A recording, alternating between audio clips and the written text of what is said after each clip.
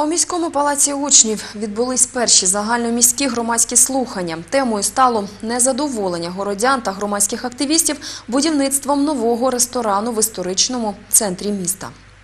Взагалі такі речі, будівництво в центрі міста, біля історичних частин міста, вони мали би в першу чергу, вони стосуються в першу чергу самих миколаївців, і однозначно вони мають бути обговорені з миколаївцями.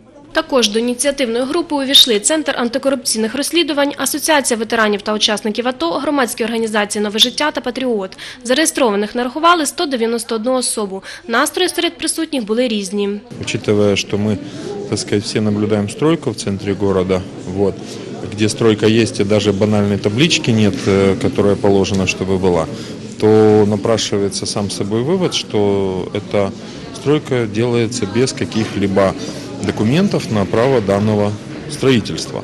Активна жителька міста Олена прийшла підтримати забудовника. Вона впевнена, всі негаразди через заздрощі конкурентів. Наш город в кои-то веке посетил инвестор, который зашел задолго, получил все разрешительные документы. На мой взгляд, э, нельзя запугивать э, и так некрасиво общаться с инвестором, устраивать скандалы.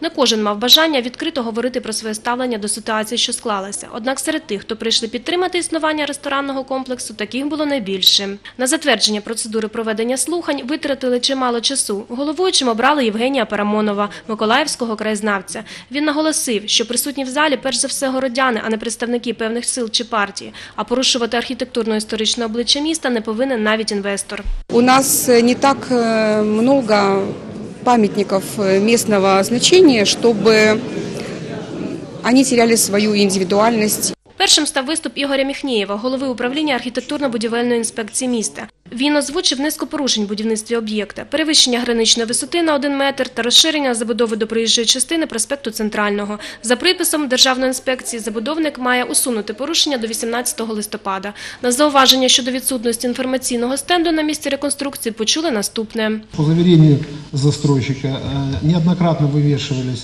э, щит- э, скажем так, баннеры информационные, и э, их неоднократно ван- ван- с вандальским способом э, у- устраняли.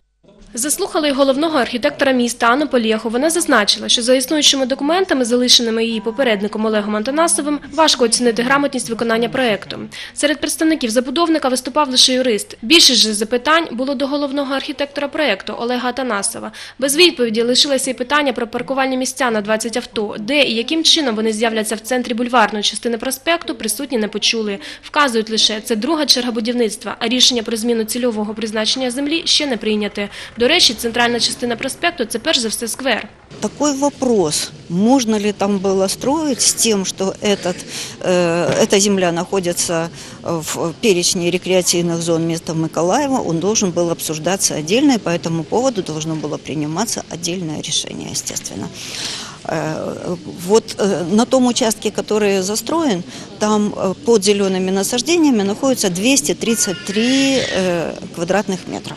До теми транспортної розв'язки на цій ділянці проспекту звернулися з відеоматеріалом активісти Центру антикорупційних розслідувань.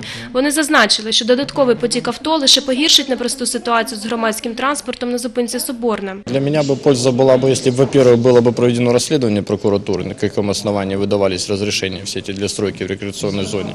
Питання до представників забудовника, їх галасливе обговорення та пропозиції щодо змін в реконструкцію об'єкту більше трьох годин тримали в напрузі весь зал. Моя позиция, позиция городского головы, что все должно быть в рамках закона. А в рамках закона это значит, что если есть какие-то недочеты в постройке сейчас этого здания, они должны быть исправлены.